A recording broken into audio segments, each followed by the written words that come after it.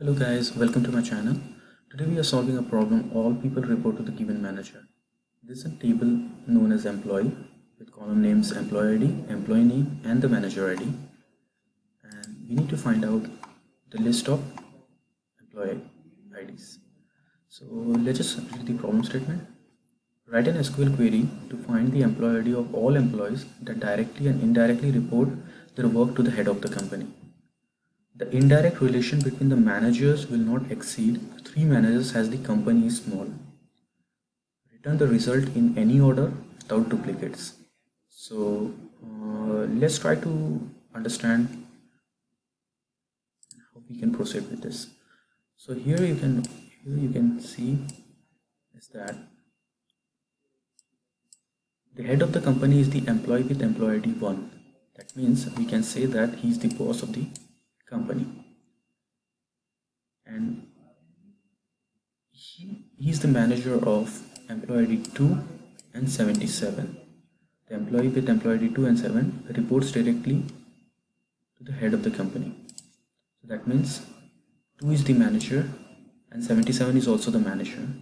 But if you notice here that 2 is the manager of 4 but 77 is not become the manager in, is in is not in the manager list. So that means that he is not the manager of anyone. That means he's just an employee.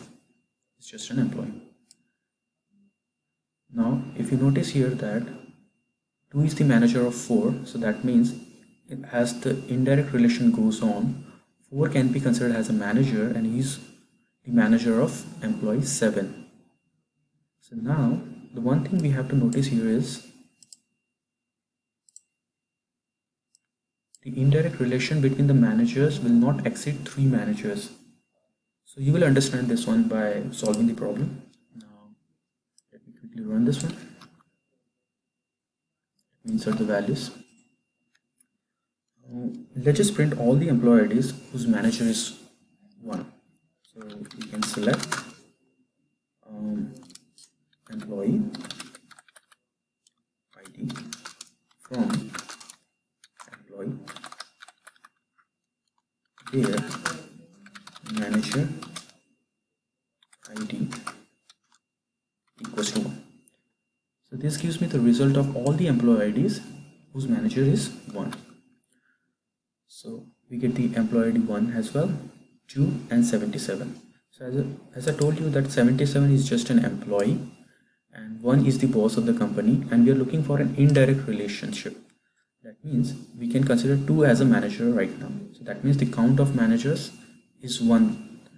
So we can again query this result set to find the employees with employee ID 1, 2 and 77.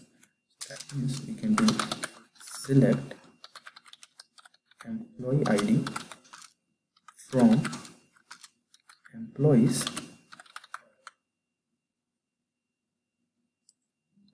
employees where manager id in this result set so now if i run this one you can see that i got the employee IDs 1 2 4 and 77 so as i told you that one is the boss and 77 is just an employee. So the count of managers becomes 2 right now. That is 2 and 4 and he said that we cannot exit more than three managers. That means we can again make a relationship indirect relationship on this query that means we can apply select employee